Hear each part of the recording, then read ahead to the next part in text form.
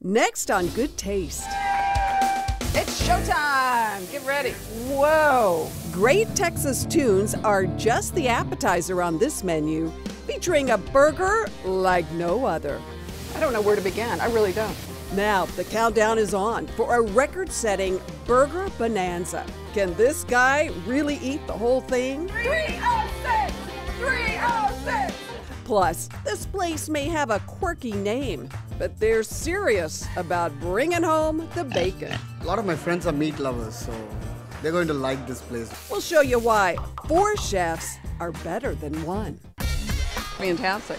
You're in for a spicy surprise when you visit this award winning Houston restaurant. There's a lot of spice going on in those pears. It's a fusion of flavors you're gonna savor. Good Taste starts right now.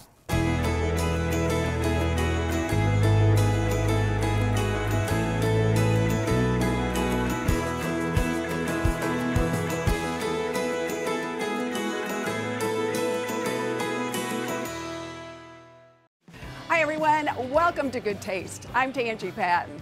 What's the best hamburger you've ever tasted? I don't know about you, but I love a big, juicy burger, dripping with gooey cheese, laced with mayo, mustard, maybe throw on some grilled jalapenos, even bacon. One that you want to dive into, even if you're on the strictest of diets. Well, we think we found the perfect one. In fact, it's so good. You're about to meet a man who's eaten one of these burgers for over 300 Saturdays in a row. This is a spot that holds a very special place in my heart for a lot of reasons. The burger is just one.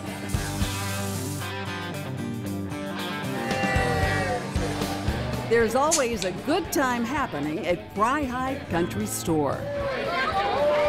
We're dog friendly, kid friendly, everything friendly. I love it. Look at how airy it is. Their formula for success is pretty simple. Like the sign out front says burgers, fries, and live music. It's a place to check your diet at the door, cut loose, and feast on all your favorites. How would you describe Freiheit's to someone who hasn't been here before? It's an old, I don't know, almost like an old soul that we try to continue in that direction. I love that. It's like an old soul. This isn't our first time at Freiheit's. We visited this family owned spot back in 2017, meeting the unforgettable, larger than life owner who made us feel right at home. Thank you, ma'am.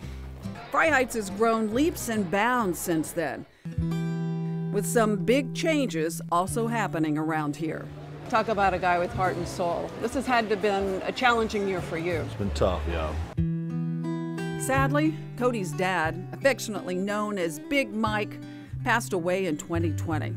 And while Mike is sorely missed, his family has taken Freiheit to new heights in honoring his memory and paying tribute to the man with a big heart who made Freiheit what it is today.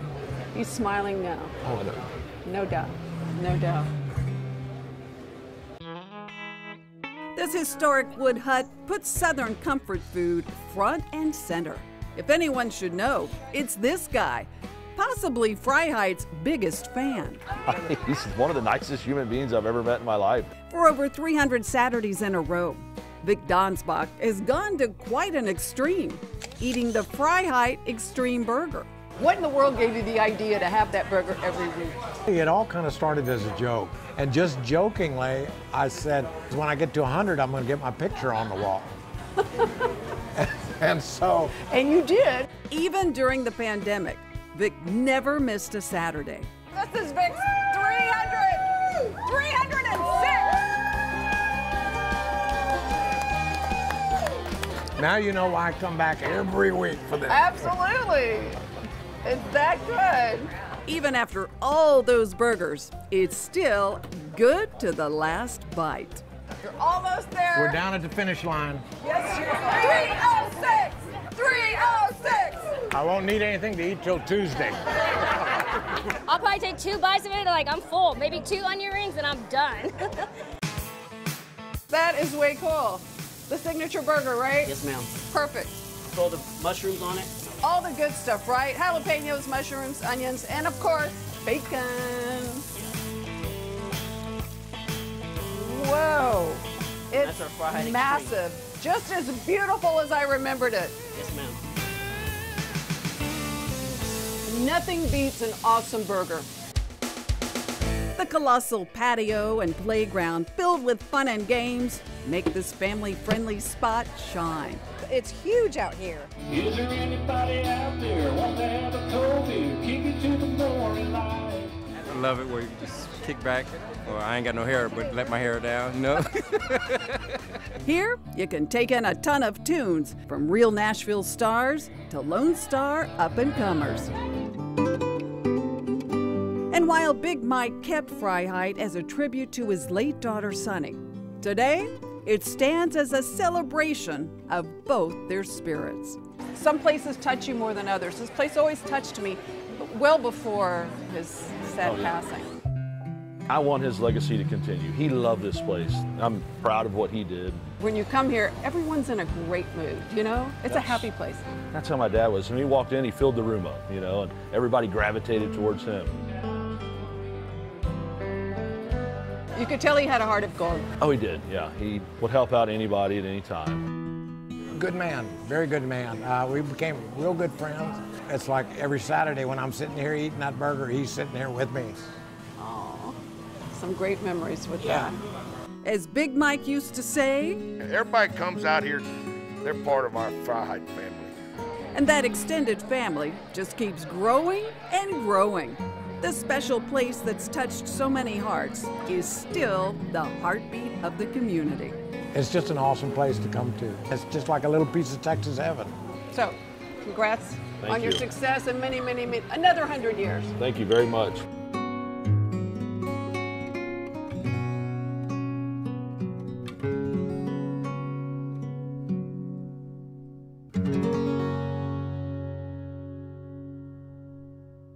Coming up, It's a great restaurant, great atmosphere. meet a chef whose creative cooking has really made a splash.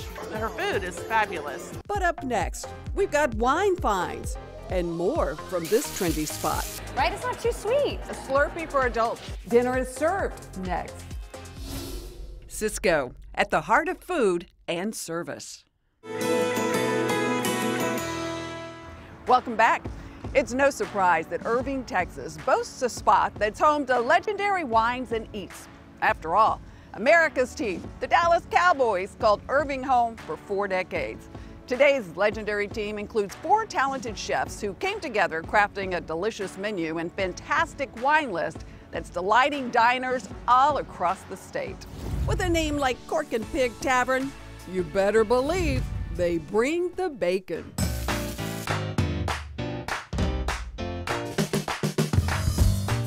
Decadent double cut pork chops to pancetta loaded pizzas, this is a place where it's really easy to pig out.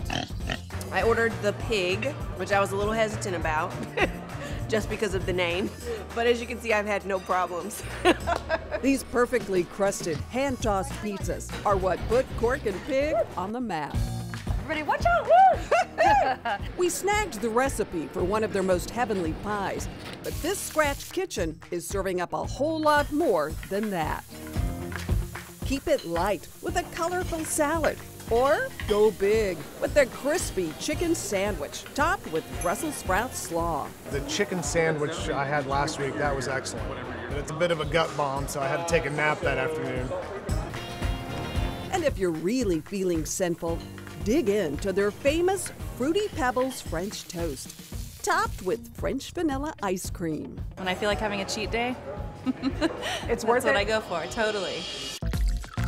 You might recognize Chef Virginia Dahlback from Hell's Kitchen, but she actually stirs up a whole lot more around this kitchen. That's because she handles the cork portion of Cork and Pig, curating the fabulous wine list. This is our half rosé, half mimosa, and people love it. Ooh, that's good. Right? It's not too sweet. A Slurpee for adults. Yes. This is one place where too many cooks in the kitchen don't spoil anything. After all, two chefs are better than one. So, How about four? Now, you guys all met working at a restaurant some years back. We all met at Hillstone Restaurant Group about 20 years ago, and we all ended up coming back together about 10 years later and opening up our own restaurant together. The original location in San Angelo kind of has a fun backstory too, right? Yeah, our um, original location in San Angelo started in a gas station. Our kitchen was literally in um, the garage, and that's where our pizza oven was. It was right over like a hub where like old oil used to be poured in. Why San Angelo? Our business partner Philippe is from there. His family has a restaurant there, and we thought it was a great opportunity to start in a small town where the, his name was already established. Kind of a quick jump start, right? Yes, that's what launched us, and then we just grew from there.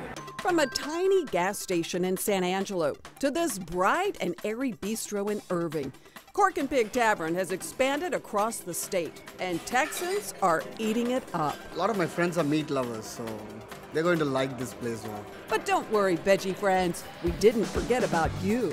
What is in that sauce? Because this pizza is delicious. Well, I'm gonna tell you a couple ingredients cream and garlic, and that's all I'm gonna tell you. What more do you need?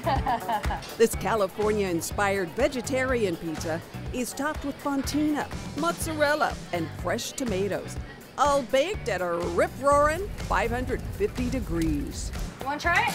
Yeah. Okay, so the key is getting under the dough. And kind of jerk it. Yeah, yeah, exactly. And then just like you jerk it again. Yeah! there you go. Baked to bubbling perfection and finished off with toppings so fresh you won't even miss the bacon. With this rich cheese. Cheers. Mm, it's so good. So, whether you're in the mood for a boozy brunch, a healthy lunch, or an over the top fantastic dinner, you've come to the right spot. With multiple locations across the state, chances are there's a Cork and Pig Tavern near your neck of the woods. Well, it's in the wine, it's in the food, and the ambiance. It's awesome. Thank you. Cheers. Cheers. Congrats. What a great spot. Thanks.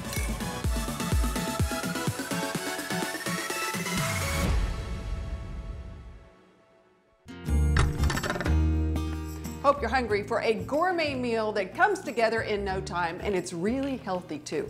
I'm with Claire Soules in the John Soules Foods Kitchen and we are making a delicious spaghetti squash. And the reason it's so easy and good, we're using John Soules Foods grilled chicken breast strips, right? Yes, so this is a fully cooked product. So all we're gonna do is heat it back up and add it to the dish and then we're done. Okay, what do we do, Claire? Okay, so the first thing we're gonna do is oil our spaghetti squash.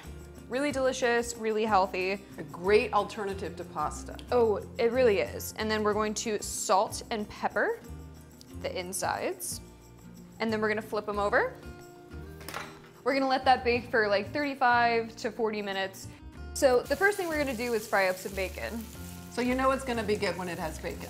Everything's always better with bacon. right. Once you have the bacon cooked and you have all like the bacon grease in there, we're gonna go ahead and add our grilled chicken breast strips. Which are already cooked, so this comes together really quickly. Yeah, so this is just heating this back up. Add some spinach and add our cheese. Mozzarella? Yes. Some Greek yogurt as well. And if you don't have Greek yogurt, you could probably use sour cream. Greek yogurt's just a great alternative. I agree. And then I just flipped our spaghetti squash and we're gonna go ahead and take it out of the oven. And you can see it's like nice and roasty. Just take a fork and you're kind of scraping at it and it creates beautiful, almost like pasta-like Yeah. strings. So easy. All right, so our next step is to add our chicken mixture to our spaghetti squash boats. Okay. Top it with a little bit of cheese. And then we're gonna put it back in the oven to get it nice and bubbly. All right. And we can go ahead great. and add some fresh basil. Mmm, that is so good. Mm-hmm. Creamy and rich. And it's yogurt, not sour cream. It's delicious. Thank you. We've got the recipe online. Those spaghetti squash boats were so good. If you're looking for some great pans to cook with this season, these Thermalloys are incredible. They're from Mission Restaurant Supply. Coming up, some fruity finds right for the season in my wine finds. But first, a culinary journey to the Far East, in the heart of the Bayou City. That is so good. We've got a bite for you next. We'd love to share good taste. Head to our website at goodtaste.tv where you'll find delicious recipes from top chefs, my latest wine finds, and restaurant recommendations. Plus, you can see all of our episodes right here. Don't forget to sign up for our newsletter while you're there. Good Taste with Tanji is brought to you in part by HEB.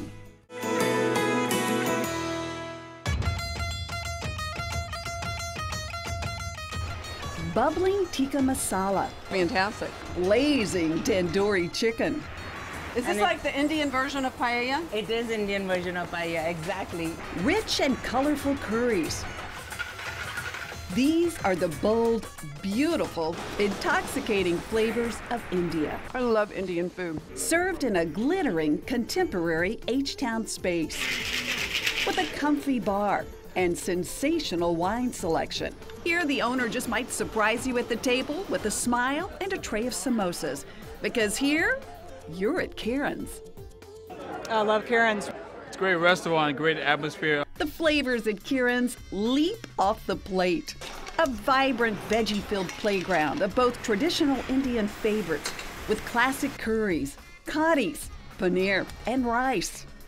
Paired with the centuries old craft of tandoori oven baking. You got it. You got control. I'm just gonna scrape it down. With, of course, warm and crispy homemade naan. That's good naan. That is so good. Sink your teeth into this fork tender lamb shank. Slow braised for six hours in a tomato curry sauce. Plated on a bed of fenugreek, similar to spinach. Snuggled up to aloo methi roasted potatoes. Garnished with juicy pomegranates. Mumbai, meet New Orleans in this shrimp and grits with a tandoori twist. Roasted jumbo Gulf Tiger prawns plated with creamy Indian upma and New Orleans style pickled okra. And a nifty nosher we couldn't stop nibbling. The Palak Chaat with kale, basil, and spinach leaves lightly battered and fried tempura style. Then sprinkled with masala spice, a drizzle of mint and apple chutney, then yogurt, all garnished with pomegranate seeds and kumquats. How did you decide to open a restaurant? Totally out of insanity. And a lot of the recipes in the restaurant today, you say, come from From my grandmother and my aunts. Family was the inspiration for this talented chef who started her first restaurant when she was only 22. You've never been formally trained No. as a chef. No, I have not been. Self taught? Self taught chef completely. And I was always very fond of uh, like throwing parties at home. Quite an accomplishment for a woman many now consider the godmother of Indian cooking in Houston. People just loved Indian food in that form. It was more like a home style cooking.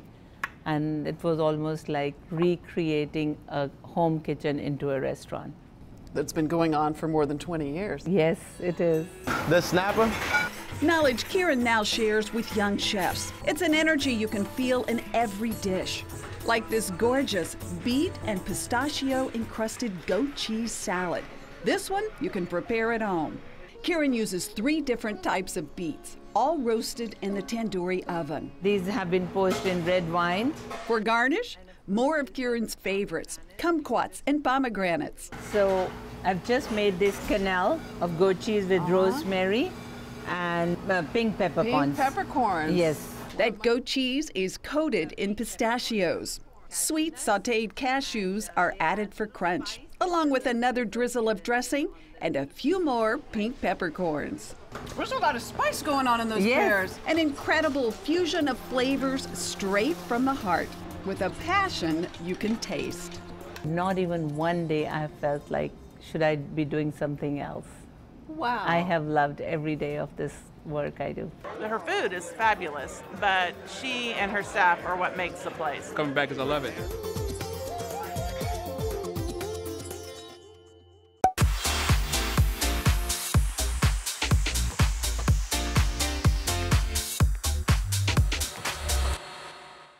Get your glass ready. Time for my wine finds. Up first, think outside your comfort zone and go for a refreshing wine that pairs with a variety of foods.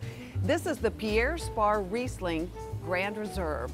lovely flavors of peach, a hint of grapefruit, and a trace of minerality. It's perfect for that chicken on your grill or maybe even your favorite sushi.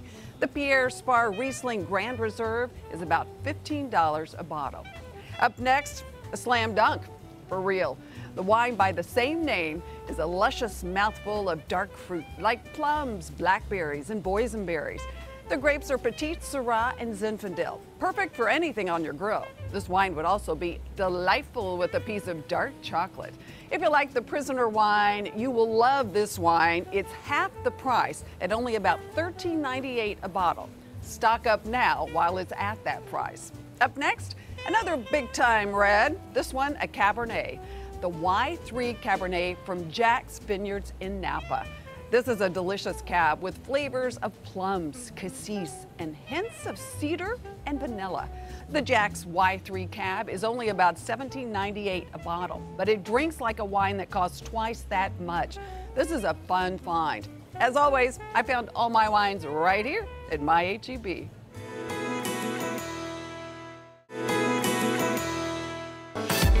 When visiting Houston, the Good Taste team loves to stay at the beautiful Royal Sonesta. We've got plenty of ways to help satisfy your appetite for good taste. Just visit our website at goodtaste.tv to see a huge list of restaurants to choose from. Also, you'll find the great recipe from today's show there too. As always, you can follow us on social media on Instagram and Facebook at Good Taste TV. Thanks so much for joining us. We'll see you right here again next week. Cheers to good taste. Ooh, that's good. Thank you. You know, truly, reminds me of my grandmother's deviled eggs until I get to the bacon and the chipotle. And then you feel like it's a little bit Elevated. Yes. yes. Sorry, Grandma.